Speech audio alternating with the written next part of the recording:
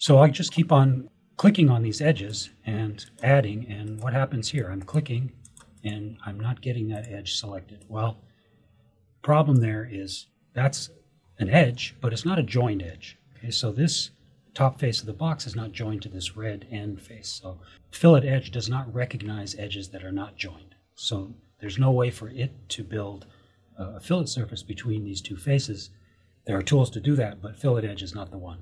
So we can keep on clicking and clicking here. Again, I'm getting no action when I click on this edge.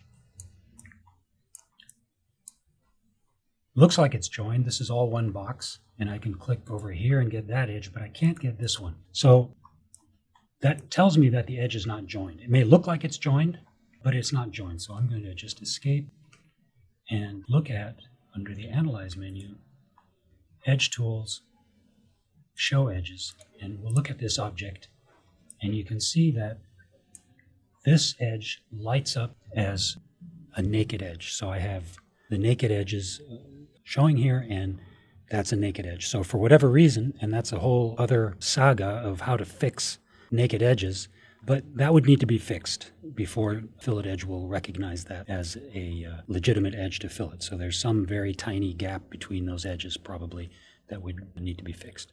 Okay, so only joined edges works, and they can be on any number of objects.